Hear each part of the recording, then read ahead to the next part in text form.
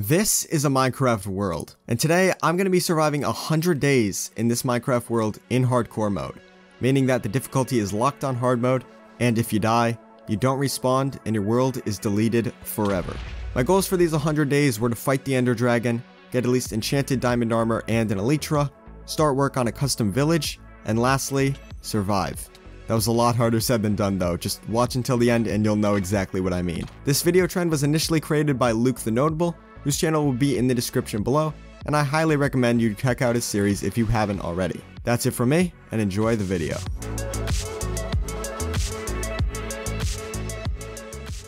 Day 1. The first thing that I did was look around at my surrounding spawn. We were in a plains biome, but we also had access to some mountains and a taiga. But I thought that I saw something in the taiga roaming, and surely enough, I stumbled across civilization.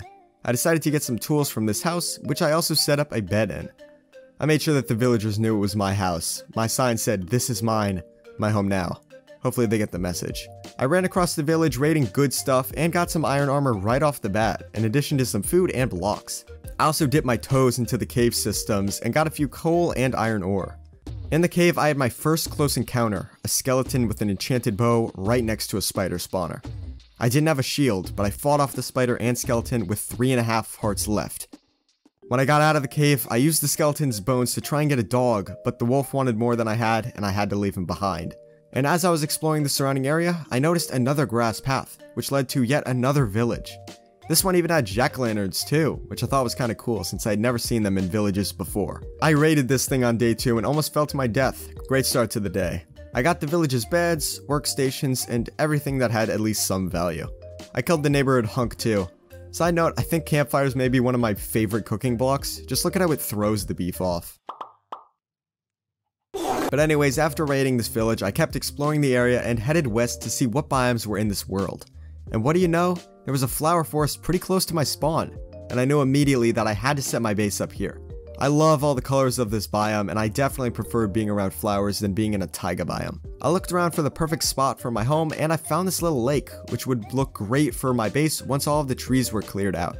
So I set down my crafting table and the double chest and prepared to settle in this area. Day 3, I prepared to move my stuff out of my village home and to the flower forest. Before I left though, I changed the sign so that later on, I could remember where I stayed in my earliest days.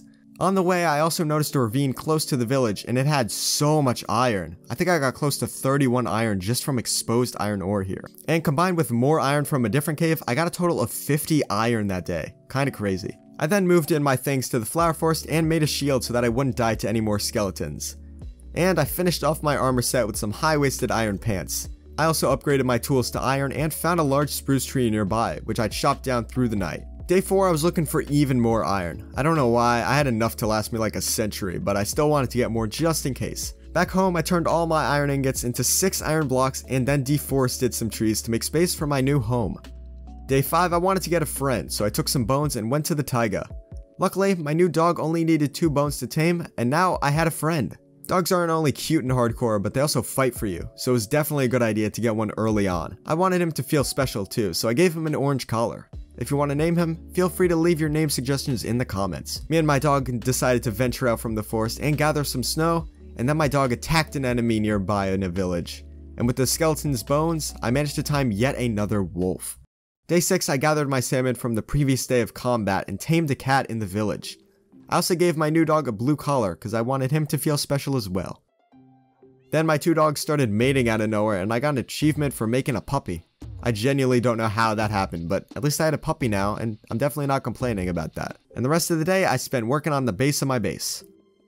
Day 7, I was working on the walls of my home. I also finished up the floor of the home, and my cat decided to sleep on my chest that night. Day 8, it was time to work on the second story, but before I did that, I used the snow blocks and a pumpkin to create a snowman. You can name all the dogs in my cat in the comments, but the snowman is 100% gonna be named McBlizzy. And then it was time for a little adventure, which I took my red collared puppy for. I was planning on building a strip mine at Y level 16 to get some diamonds, but on the way down, this happened.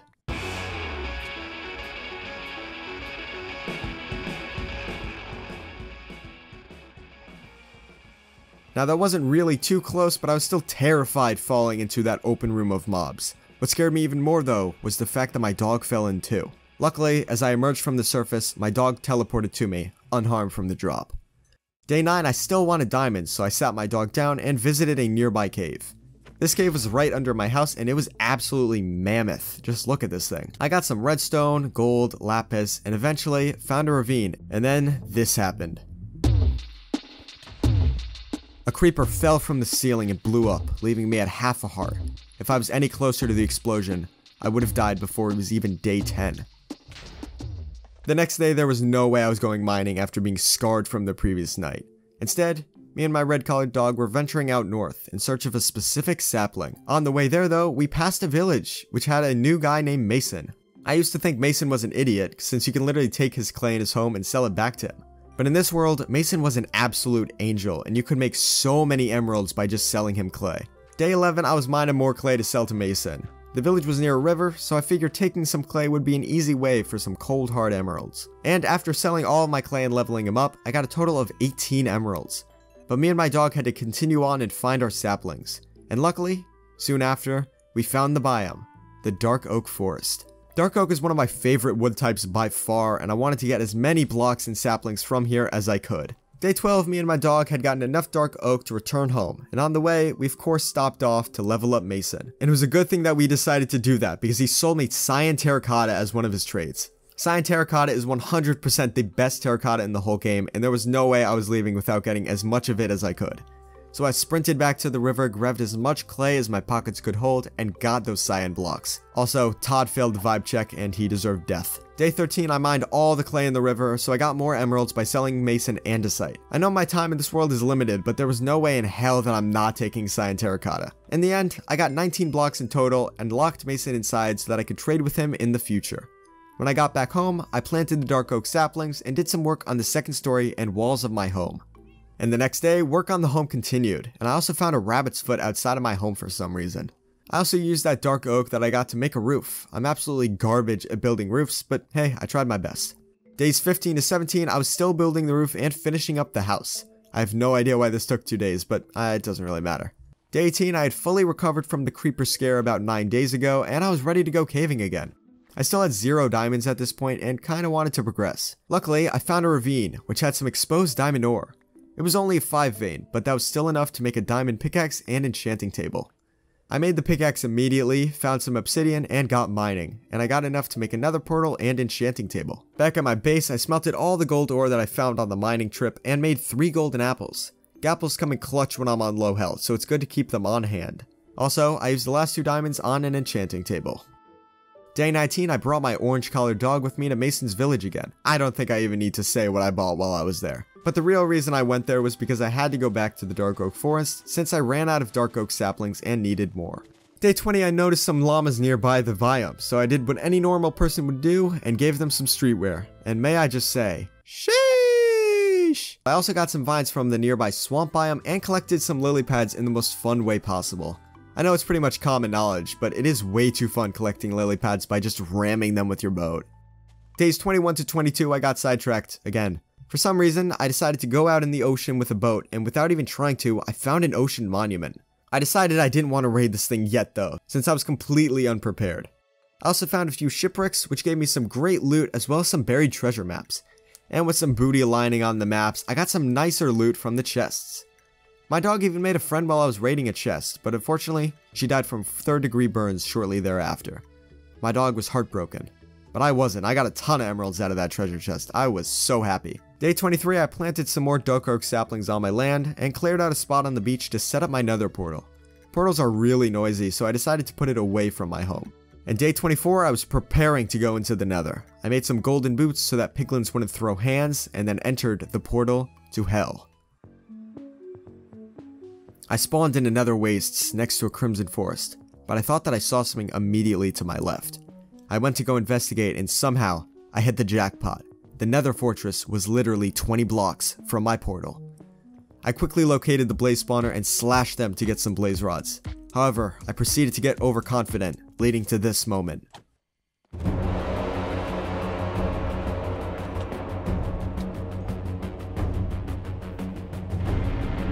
I got down to two hearts there. My heart was absolutely racing after that moment. But for some reason, I decided to try and get some more blaze rods, which led to...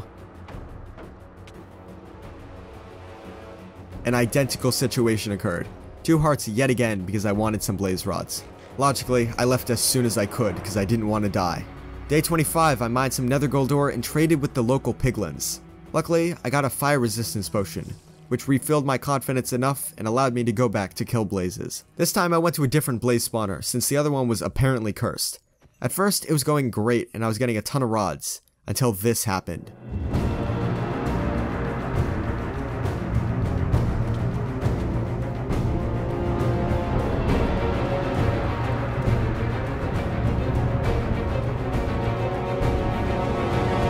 Thankfully, I had a gapple on me and I killed the rest of the piglins who were after my blood. But with the fire resistance, I managed to kill a few more blazes and got all the blaze rods I need for a long time. Day 26, I needed to change from almost dying three times in two days, so I decided to excavate an area near my home and build a little wheat farm. I used some of my leftover spruce wood and made a little stream through it, and even though I suck at building, I think that it turned out pretty okay. Day 27, I chopped down that dark oak tree down and finally finished off the roof of my home. Day 28, I realized I still had zero diamonds, so I ventured out to the strip mine. My luck was trashed the whole 100 days, but I fortunately found two diamond ore. Pitiful amount, but still better than zero. Day 29, this skinny man was holding a grass block which I wanted, so I clapped his bony caboose and got it in my inventory. Me and my blue collar dog also visited some tall spruce trees to gather some wood. And then we found a new village near the taiga biome. I was hoping for some diamonds in this blacksmith, but my unluckiness carried on and this chest was crafted of literal garbage. Day 30, me and my dog had to leave the village and I worked on a small doghouse for my dogs. And when I say small, I mean small. Hopefully they don't have claustrophobia because there is barely enough room to breathe in there. Day 31, I finished planting my seeds in the wheat farm and made a new area for planting carrots. I stuck with the same design for this one, and I don't know what these walls are called, but I like the look of it for holding the crops. I also decorated the farm with roses because as I said before, I'm a sucker for color in this biome. Day 32, I was looking for diamonds again. With my luck, do you think I found any? Of course, the answer is yes, I found three. Thank god, I would have quit this game if I didn't find any that day. Day 33, I was making some bookshelves. I already had an enchanting table, and I wanted to get fortune on a pickaxe so that if I could find more diamond ore, I could get twice as many diamonds. And to speed up leather production, I also started a mini cow farm next to the carrots. Day 34, I was chopping some cows to get some leather. I also brought my red dog on this trip because he was hungry for some red meat. And of course, what's a trip to the village without a traditional campfire meat throw? Days 35 to 36, I found some bee nests and collected my first honey bottle ever.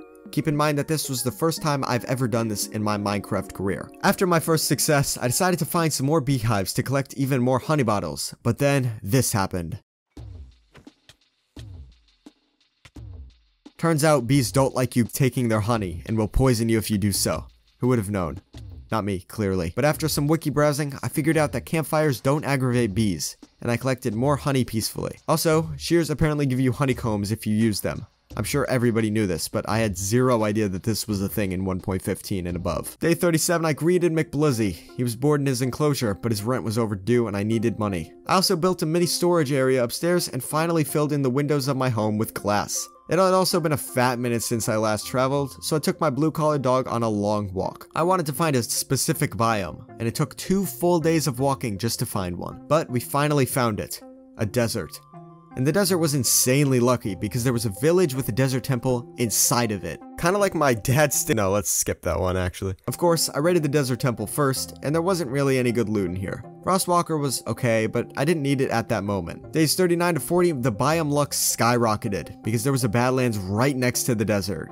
And Badlands are literally all terracotta. And in case you haven't noticed already, I love terracotta way too much.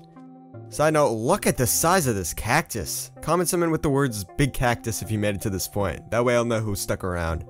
I mined up some rails from an exposed mine shaft here, and the chest mine carts were goaded. I managed to get 2 diamonds and an efficiency 5 book from one, and 2 diamonds from the next one. And with my total of 9 diamonds, I decided to invest in a diamond chest plate.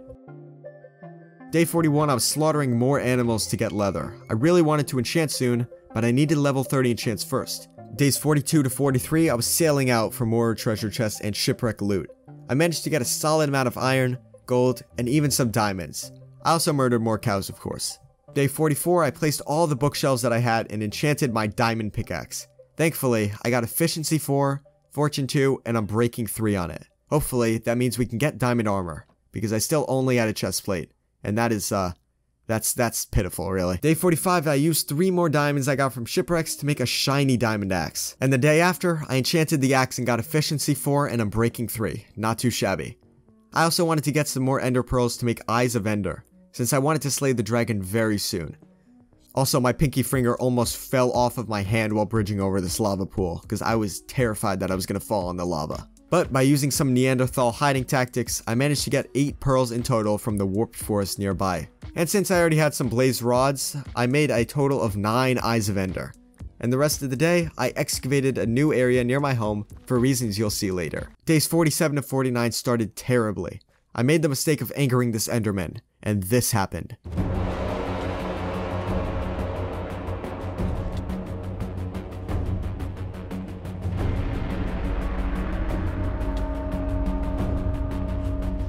I ran out of food at the worst possible time, and the Enderman got me down to one and a half hearts. If I had ran out of food just one second earlier, my entire world would have been deleted. But luckily, I got in water and safely killed the Enderman. After that encounter, me and my orange-collared dog took a long stroll to the desert again, and I saw a new biome, a jungle. More specifically, a bamboo jungle. I ran to it as fast as I could and chopped down some of the bamboo, and there was also a jungle temple nearby, which I decided to raid. The loot in here was so bad that I was honestly more interested in the sticky pistons and redstone, to be honest. Day 50, I found a dungeon and I took some loot from the chests. Also, the video's half over, so, you know, maybe consider that you're subbed. Okay, thanks. Days 51 to 52, I was exploring a Badlands mine shaft, which I used to strip mine in hopes of finding some shiny blue diamonds. Unfortunately, my strip mine intersected with a mineshaft corridor, which led me straight to some diamond ore. It was a 6 fade, but with my Fortune 2 pickaxe, I got 13 diamonds in total. Things were starting to look up. And speaking of looking up, a nearby corridor had even more diamond ore on the ceiling. This was another 6 vein, leading to another 13 diamonds and bringing my total to 26. I was so happy that I resurfaced immediately before realizing that something was missing. My orange collared dog. So back to the strip mines I went and I found him sitting down in a random tunnel. Just having a nice time, really. Day 53, a new man named Mason wanted some clay, and I sold him all that I had, gaining me 29 emeralds. And the rest of the day, I spent trying to get a mending villager. I actually got the trade at one point, but it was 34 emeralds, and I wanted a better price, so like an idiot, I reset his trades. This continued well into day 54, but ultimately, I agreed to get a Silk Touch trade for 10 emeralds. It wasn't a terrible trade, but it wasn't mending. Day 55, I planted the new bamboo that I got and made a new diamond sword and full set of diamond armor. Everyone else doing this trend got a diamond set on like day 10, but I just managed to get it. I don't care if I was late getting the new diamond armor. I was still super happy. Was a little bit sad though, I won't lie. I then enchanted some of the armor and got protection 3 on the chestplate and leggings. Day 56, I genuinely forgot that I had a cow form, so I decided to breed them.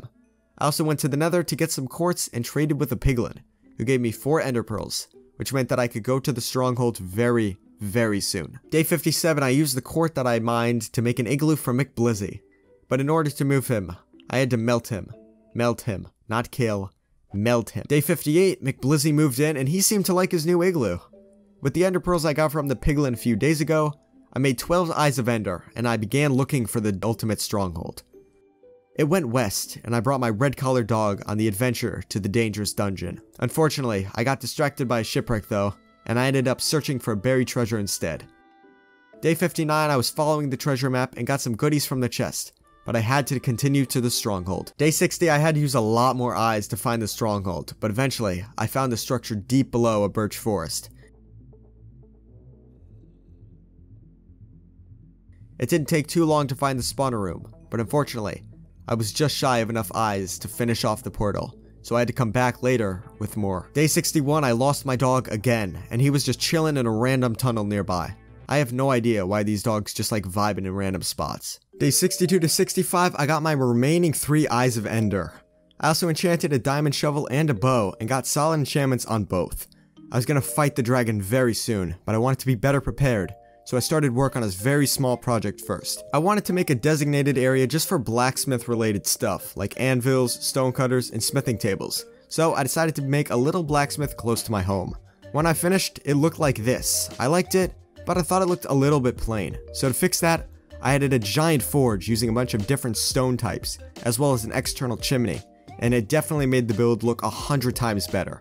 I'm no Grian, but hey, at least I wasn't building a dirt blacksmith. Day 66, I was adding smooth stone to the floor of the blacksmith and adding in all the workstations and blocks that I wanted in here. To end off the day, I farmed some wheat and forced cows to reproduce. Day 67, I added lanterns to the blacksmiths and gathered a ton of wool, which would be turned into beds.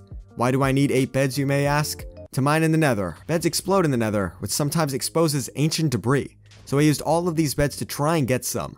Unfortunately though, I had no luck finding any debris on that day. Day 68, I made some golden apples, farmed the carrots, farmed the wheat, and stripped the sheep of their wool. Day 69 to, that's a funny number, to 71, I was trading emeralds for bricks with Mason.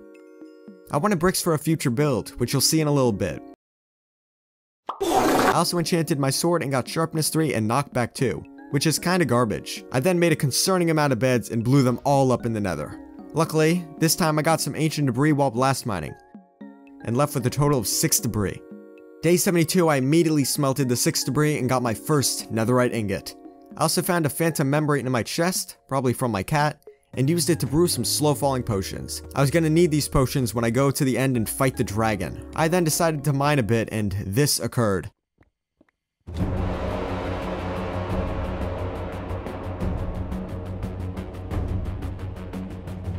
That was a block clutch and a half, man. There were so many creepers there, and I nearly fell into lava. But instead of diamonds on this trip, I only found a buttload of redstone. Day 73, campfire meat throw time. I also enchanted my boots and got the absolute godly boots. Prot 4, Unbreaking 3, and Depth Strider 3, these boots were insane. I had to thin the herd too. They were moving too loud for my taste. Day 74, I went on vacation to Mason's Village for one of the last times in this episode. Side note, these boots were absolutely amazing and water. They're like Air Force 3000s. I brought a lectern and eventually got a villager to sell mending for 32 emeralds. Ideally, I wanted it for 10, but I decided to take the trade anyways. I sold some clay to Mason and sold sticks to Fletcher's for more emeralds, which allowed me to buy 3 mending books in total. I also brought my blue-collared dog to the village and sat him down. Remember this moment? It'll come back later. Day 75, I got barely enough emeralds to get another mending book and I left the village with 4 in total. And after enchanting the final piece of armor with protection and unbreaking, I was feeling confident as ever and I knew that I was almost ready to defeat the mighty Ender Dragon. Day 76, this cow got me to level 30, and I disenchanted my crappy knockback's diamond sword, and re-enchanted it, only to get the exact same sword. Literally the same enchantments, everything. I also went back to the village and guess who was sitting in the villager's home? It was my blue collar dog. I gotta stop sitting them down in random spots, man. I'm gonna eventually lose a lot of them. Day 77, I traded my final emeralds to get two more mending books. I also leveled up my Fletcher, hoping that he'd trade me a good enchanted bow, but unfortunately, his bow was the worst thing I'd ever see, and I ghosted his dumb butt. Day 78, I disenchanted my sword yet again and re-enchanted, hoping for sharpness this time. I'll just let this clip play out. I stared at this for 5 minutes, I'm not even lying. I was ready to delete the world at this point. I got the exact same sword 3 times in a row. I'm telling you, I'm the most unlucky Minecraft player, and this sword just proves that. But after my 5 minute rage, I went to the Spruce Village and got another Fletcher, but instead of selling 6 to this one, I decided to purchase a lot of arrows for my bow. I then visited my first home and stored everything that wouldn't assist me in the dragon fight. I got some more blocks, sat my puppy down, and embarked on my final adventure to the stronghold and the end dimension. If this fight did not go well, these moments may be my last in this entire world. Day 79 to 80, I found where I marked my portal room and dug down. I placed the final three eyes and ignited the portal. I stared into the void, knowing that if I mess this up, my world will be gone forever. But I worked up the courage to jump, and I descended into the end. I mined my way out from an encased platform and proceeded to shoot the end crystals of the island, which rehealed the dragon's health.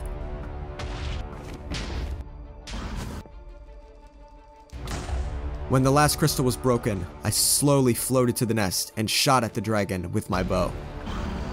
And when it perched, I swung my crappy sword in its face to damage it even more.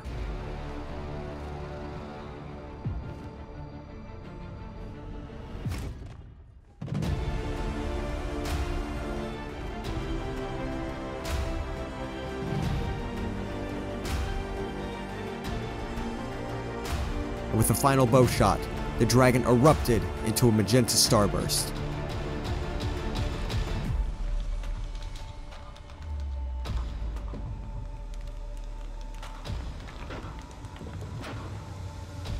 The dragon dropped tons of XP as well, bringing me up to level 69.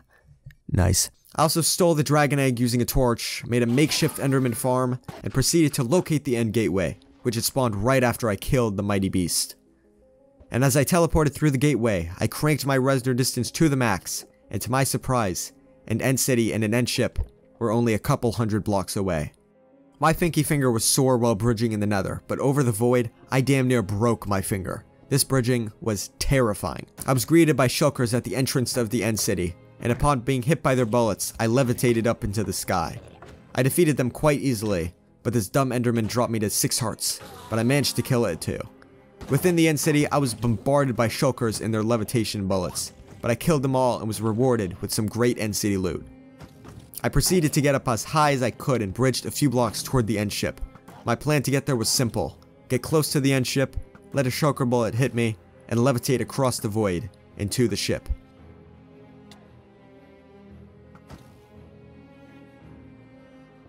And thank goodness, the plan actually worked. In the end ship, I defeated the final shulker box and was awarded with an insane iron pickaxe, ores, enchanted armor, and most notably, the Elytra the wings which would allow me to fly across the atmosphere of Minecraft. I also did not forget to take the dragon head back to the overworld, because I've seen so many people do that and it annoys me every single time. And using some shulker shells I obtained, I made a few shulker boxes to store some extra inventories from my inventory. And then, the most terrifying moments in these 100 days happened. I'll let this play out.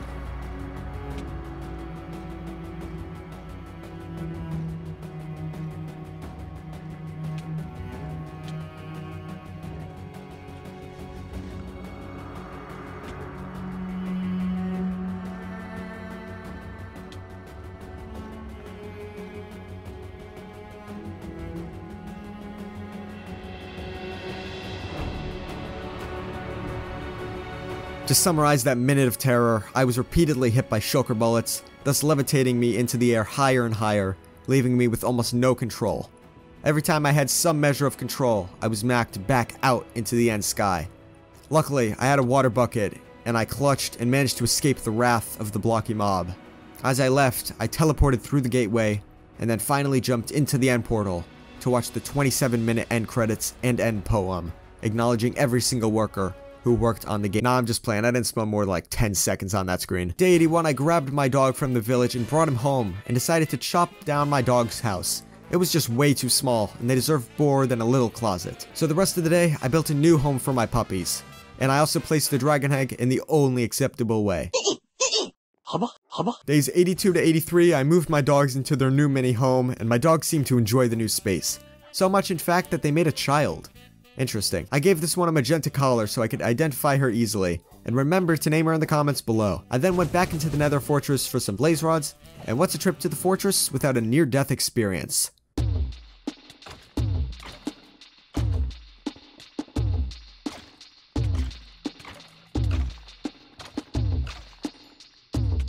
You may not have been able to tell, but I actually got down to one and a half hearts there.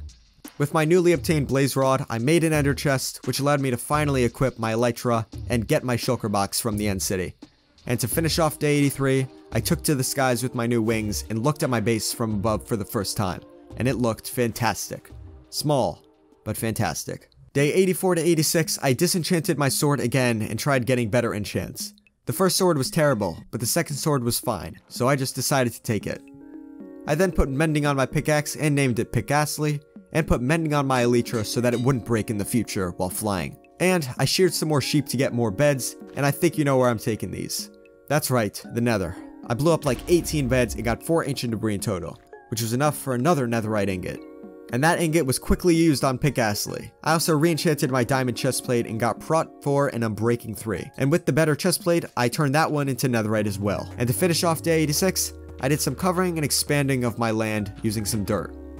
Day 87, I met another Todd, which you know what that means. He had to die. Flying to the Badlands took a ton shorter than walking, and I got a ton of terracotta while I was here. And thank goodness for shulker boxes, because I stored a ton of terracotta in there without clogging up my inventory too much. On my journey, I also managed to tame a parrot in the bamboo jungle, but unfortunately she wouldn't teleport to me while I was flying, so I had to leave her in the jungle. I'll come back to her, it's okay. Days 88 to 93, I didn't think I'd done enough in these 100 days. I mean, I've definitely done a lot, but I didn't really have much to show for it.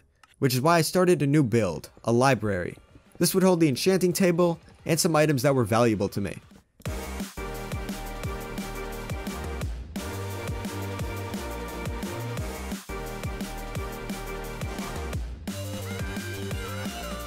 Day 94, I added a staircase and some supports, and this is what the build was looking like. I was definitely liking the look of it and thought that it added a ton to my plot. I did some additional detailing on the outside and took the liberty of adding some paths to the farms and buildings on my complex. Day 95, I made a trophy case to display my dragon egg in the library. And I finally finished up the actual ceiling of my home.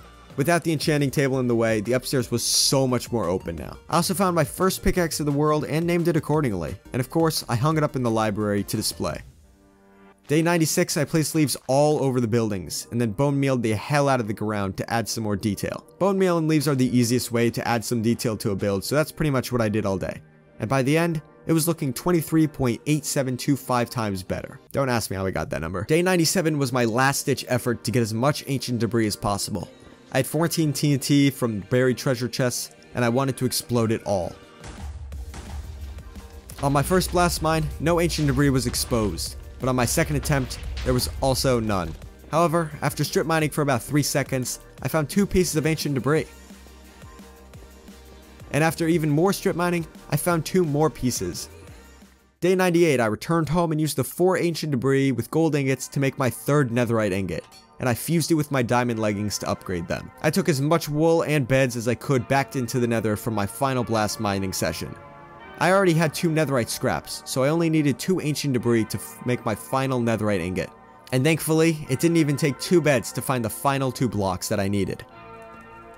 I rushed home, smelted them, and made my last netherite ingot, and I upgraded my diamond boots with the new ingot. I know my helmet was still diamond, but I was still feeling great at this moment with 3 fourths netherite armor. Day 99, I did a chore that I'd been meaning to do for a long time, lighting up the cave that was under my home. It was spawning a bunch of mobs and I really needed to light it up. Don't ask me how I didn't realize that Fullbright was on at this point, but never mind that. I lit up a ton of the cave, hoping that mobs would stop spawning under there, and I could finally live in peace above the land which led us to day 100. Even after our near-death experiences like 20 times, and despite all my unluckiness, I still managed to survive for 100 days in Minecraft Hardcore. I greeted my dogs and did the finishing touches of all of my projects. Heads he lives, tails he dies. It was heads, but I didn't care. I also killed his dumb spitmobiles because they suck as well. I took a final look at the library, which held my dragon egg and my first pickaxe, and I visited Mason for the last time to gift those who would help me, like the Fletcher, Mending Villager, and of course, Mason. As a special gift to him, I let him out of his quarantine too. For my final destination, I visited my original day one home and found some items in the chest that I'd left before going to fight the dragon. And as the sun set on that final day, I walked up my home stairs and took my final good night's rest to end off day 100. And that was all for the video. If you enjoyed, then consider liking and subscribing. Also, be sure to comment some dog name suggestions, because if I do make a 200 days video, then you may have your name featured. And that is it from me, so thank you for watching, I'm The Terrain, stay handsome.